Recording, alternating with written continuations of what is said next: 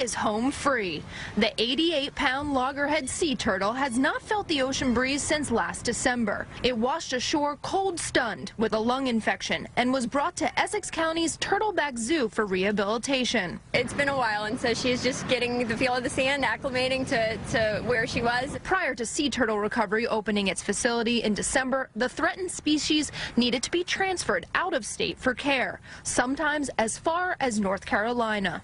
Making history here in New Jersey. It's the mm-hmm. first release of a turtle that has actually been taken care of and recovered in our facility. Humphrey is 12 years old, but we don't know if it is a boy or a girl until it has matured by the age of 26.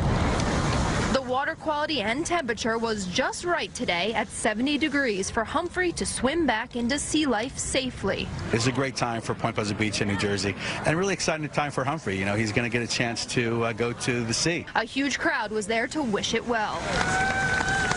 Do you think the turtle's going to go fast or slow towards the water? Slow. Slow, why? Let's see the taller.